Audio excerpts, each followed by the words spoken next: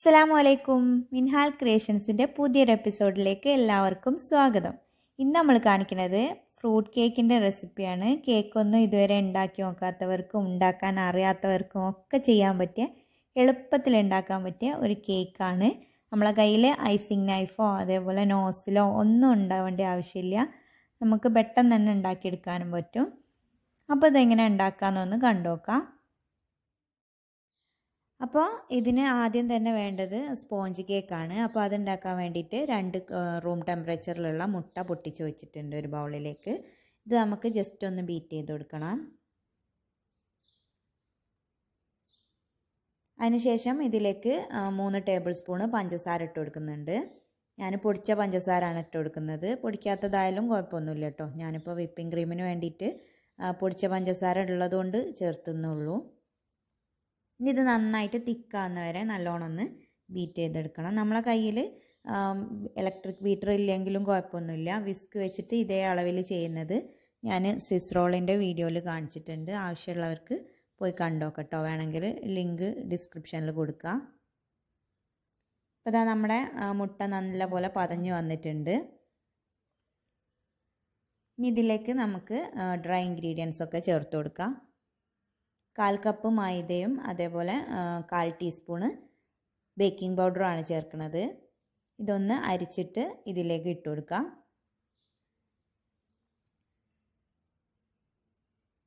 ഇനി ഇത് ഒരു സ്പൂണോ അല്ലെങ്കിൽ എന്തെങ്കിലും സ്പാച്ചിലോ എന്തെങ്കിലും വെച്ചിട്ട് നല്ലപോലെ കട്ടൊന്നും ഇല്ലാണ്ട് നല്ലോണം ഒന്ന് മിക്സ് ചെയ്തെടുക്കുക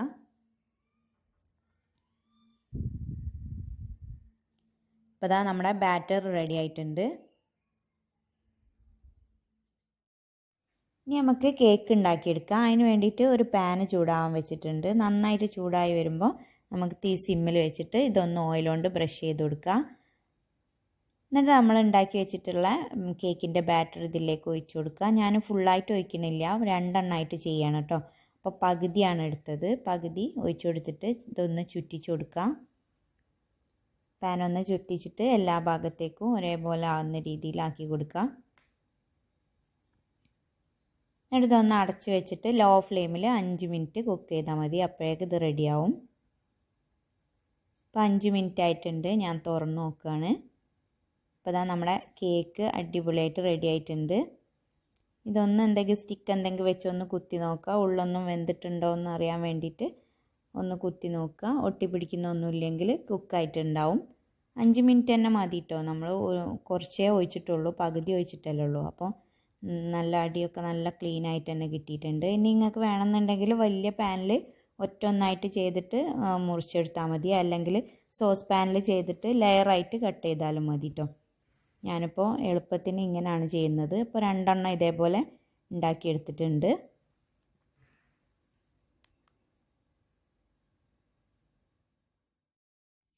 ഇനി നമുക്ക് ഇതിലേക്കുള്ള വിപ്പിംഗ് ക്രീം ഉണ്ടാക്കിയെടുക്കണം. അതിന് വേണ്ടിയിട്ട് അരമണിക്കൂർ ഫ്രിഡ്ജിൽ വെച്ചിട്ട് തണുപ്പിച്ചിട്ടുള്ള ഒരു ബൗൾ എടുത്തിട്ടുണ്ട്. ഇതിലേക്ക് ഞാൻ അൻപത് ഗ്രാമിന്റെ വിപ്പിംഗ് പൗഡറിന്റെ പാക്കറ്റ് ഒന്ന് പൊട്ടിച്ചിട്ട് ഒഴിച്ചു കൊടുക്കുന്നുണ്ട്.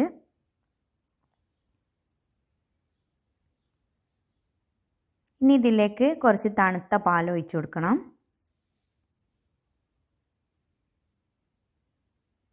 തണുത്ത പാലും കൂടി ഒഴിച്ചിട്ട് ജസ്റ്റ് ഒന്ന് ബീറ്റ് ചെയ്തെടുക്കുന്നുണ്ട്.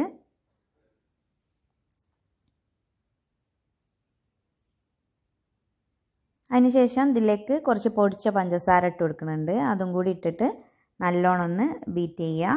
നല്ല തിക്കാവുന്നവരെ ബീറ്റ് ചെയ്ത് കൊടുക്കുക.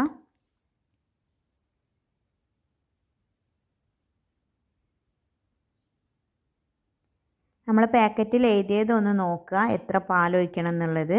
അപ്പോൾ അതിൽ എഴുതി അത്രയും തന്നെ ആദ്യം തന്നെ ഒഴിക്കരുത്. അതിന്റെ പകുതി ആദ്യം ഒഴിച്ച് നോക്കുക. എന്നിട്ട് ബീറ്റ് ചെയ്തിട്ട് നമുക്ക് ആവശ്യമുണ്ടെങ്കിൽ കുറച്ച് കുറച്ചായിട്ട് ഓരോ സ്പൂൺ വീതം പിന്നെ വേണമെങ്കിൽ ഒഴിച്ചു കൊടുത്താൽ മതി. ആദ്യം തന്നെ മുഴുവനായിട്ട് ഒഴിച്ചു കൊടുത്തിട്ടുണ്ടെങ്കിൽ ചിലപ്പോൾ നമ്മളെ വിപ്പിംഗ് ക്രീം ലൂസായി പോവും. വിപ്പിംഗ് ക്രീമിൽ സാധാരണ കുറച്ച് മധുരം ഉണ്ടാവുമെങ്കിലും കുറച്ചും കൂടി ഇട്ട് കൊടുത്തിട്ടുണ്ട് ഞാൻ പൊടിച്ച പഞ്ചസാര ഇട്ട് കൊടുത്തിട്ടുണ്ട്. നമ്മളെ കയ്യിൽ ഇതേപോലെ ബീറ്റർ ഇല്ലെങ്കിലും കുഴപ്പമൊന്നുമില്ല കേട്ടോ. വിസ്ക് ഉണ്ടായാൽ മതി. വിസ്കും അതേപോലെ നമ്മൾ ബീറ്റ് ചെയ്തെടുക്കുന്ന ബൗളും നല്ല പോലെ ഫ്രീസറിൽ വെച്ചിട്ട് ഒരു മണിക്കൂർ തണുപ്പിച്ചെടുക്കുക. അതിന് ശേഷം അതിലേക്ക് ഇട്ട് കൊടുത്തിട്ട് നല്ലോണം ബീറ്റ് ചെയ്തെടുത്താൽ മതി. ഇത്ര പെട്ടെന്നാവില്ല എന്നുള്ളൂ. എന്നാലും കുറച്ച് ടൈം ബീറ്റ് ചെയ്തിട്ടുണ്ടെങ്കിൽ അതും നല്ല പോലെ തന്നെ ആയി കിട്ടും.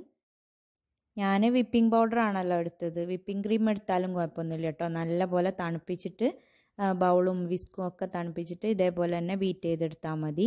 അപ്പോൾ നമ്മുടെ വിപ്പിംഗ് ക്രീം റെഡി ആയിട്ടുണ്ട് കേട്ടോ.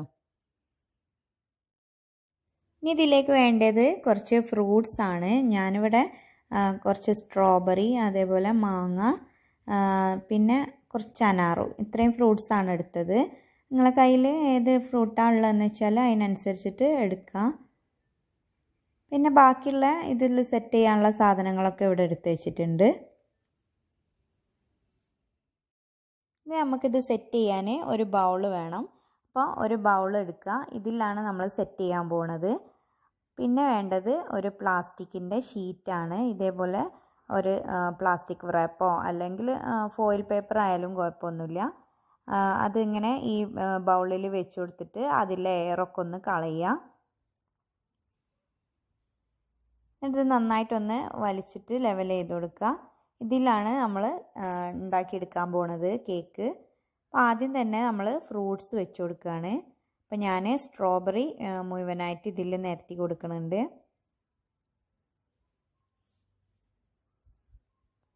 നമ്മളിത് ഐസിങ് ചെയ്യുക അല്ലെങ്കിൽ നല്ലപോലെ ഫ്ലവർ വരച്ചു കൊടുക്കുക ഡെക്കറേറ്റ് ചെയ്യുക അങ്ങനെ ഒന്നും ചെയ്യുന്നില്ല കേട്ടോ. നമ്മളെ രീതിക്ക് അനുസരിച്ചിട്ട് നമ്മൾ ഫ്രൂട്ട്സ് ഇതേപോലെ നല്ല ഓരോ ഓരോരുത്തരെ ക്രിയേറ്റിവിറ്റി അനുസരിച്ചിട്ട് ഇതേപോലെ വെച്ച് കൊടുക്കുക ഞാൻ അങ്ങനെ മോഡലാക്കുന്നൊന്നുമില്ല. സാധാരണ അങ്ങനെ വെച്ച് കൊടുത്തിട്ടുള്ളൂ സൈഡിലായിട്ട് കുറച്ച് മാങ്ങ കഷ്ണങ്ങളും വെച്ച് കൊടുക്കുന്നുണ്ട്.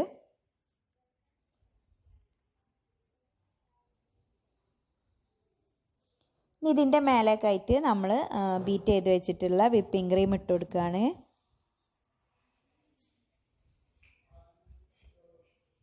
ഇതൊന്ന് ഒരു സ്പൂൺ വെച്ചിട്ട് സ്പ്രെഡ് ചെയ്ത് കൊടുക്കുക. നമ്മളെ കയ്യിൽ ഐസിങ് നൈഫോ വേറെ ഒന്നും വേണ്ട ആവശ്യമില്ല. ഒരു ചെറിയ സ്പൂൺ ഉണ്ടെങ്കിൽ നമുക്കിത് ലെവൽ ചെയ്തെടുക്കാവുന്നതേ ഉള്ളൂ.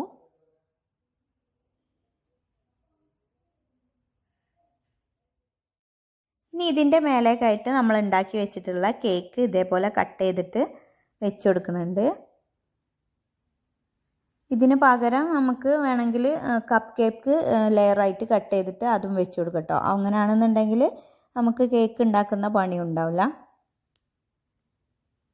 ഇതിന്റെ മേലേക്കായിട്ട് കുറച്ചുകൂടി വിപ്പിംഗ് ക്രീം ഇട്ട് കൊടുക്കാം. ഞാൻ കേക്ക് ഇപ്പോൾ ഷുഗർ സിറപ്പ് ഒന്നും വെച്ചിട്ട് വെറ്റ് ചെയ്യുന്നില്ല കേട്ടോ അധികം മധുരമൊക്കെ വേണ്ടവർക്കാണെങ്കിൽ ഒന്ന് ഷുഗർ സിറപ്പ് ഉണ്ടാക്കിയിട്ട് ഒന്ന് വെറ്റ് ചെയ്തെടുക്കാം.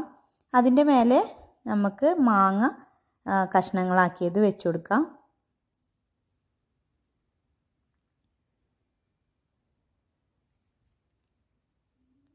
ഇനി ഇതിന്റെ മുകളിലേക്കായിട്ട് ഞാൻ കുറച്ച് അനാറ് കൂടി ഇട്ട് കൊടുക്കുന്നുണ്ട്. അതിന്റെ മേലെ കുറച്ചും കൂടി വിപ്പിംഗ് ക്രീം സ്പ്രെഡ് ചെയ്ത് കൊടുക്കുന്നുണ്ട്.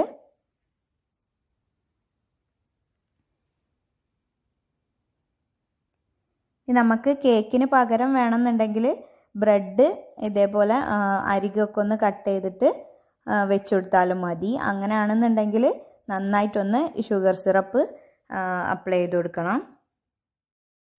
ബ്രെഡിനേക്കാൾ ടേസ്റ്റ് കേക്ക് തന്നെയാണ് കേട്ടോ കേക്ക് ഉണ്ടാക്കിയിട്ട് വെക്കുന്നതിനാണ്. അപ്പോൾ അതിന്റെ മേലേക്കും നമ്മൾ ഉണ്ടാക്കി വെച്ചിട്ടുള്ള കേക്ക് വെച്ച് കൊടുക്കുകയാണ് ഇനി നമുക്ക് ഇതിൽ നമ്മൾ വെച്ച് കൊടുത്തിട്ടുള്ള പ്ലാസ്റ്റിക് റാപ്പ് ഒന്ന് വലിച്ചിട്ട് മേലോട്ടാക്കി കൊടുക്കാം. ഇനി ഇതൊന്ന് ചെറുതായിട്ടൊന്ന് കൈ വെച്ചിട്ടൊന്ന് പ്രസ് ചെയ്ത് കൊടുക്കാം.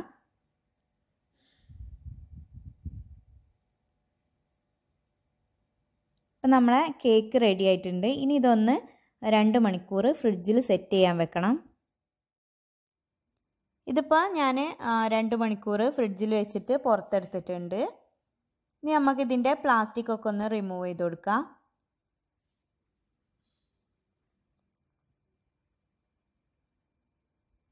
ഇനി നമുക്ക് ഇതൊരു പ്ലേറ്റിലേക്ക് കമഴ്ത്തി വെച്ച് കൊടുക്കണം.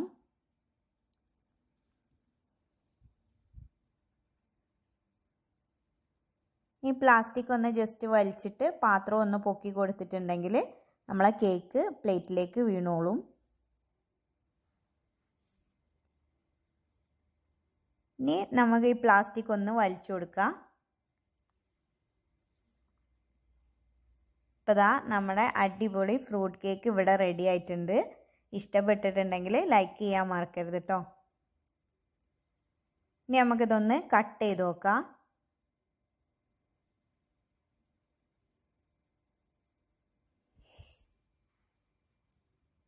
ഇപ്പോൾ ഇതാ നമ്മളെ കേക്ക് സൂപ്പറായിട്ട് തന്നെ വന്നിട്ടുണ്ട്. കേക്ക് ഉണ്ടാക്കാനൊന്നും അറിയാത്തവർക്ക് പെട്ടെന്ന് തന്നെ ഉണ്ടാക്കിയെടുക്കാൻ പറ്റിയ അടിപൊളി ടേസ്റ്റി ആയിട്ടുള്ള ഒരു കേക്കാണ് അപ്പോൾ എല്ലാവരും ഒന്ന് ട്രൈ ചെയ്ത് നോക്കട്ടോ. എന്നിട്ട് നിങ്ങളെ അഭിപ്രായങ്ങളൊക്കെ ഒന്ന് കമന്റ് ചെയ്ത് ഞങ്ങളെ അറിയിക്കുക വീഡിയോ ഇഷ്ടമായെങ്കിൽ ലൈക്ക് ചെയ്യുക ഫ്രണ്ട്സിനും ഫാമിലിക്കും ഒക്കെ ഒന്ന് ഷെയർ ചെയ്ത് കൊടുക്കുക സബ്സ്ക്രൈബ് ചെയ്യാത്തവരുണ്ടെങ്കിൽ ഒന്ന് സബ്സ്ക്രൈബ് ചെയ്യാം കേട്ടോ വേറൊരു വീഡിയോ ആയി വരുന്നവരെ താങ്ക്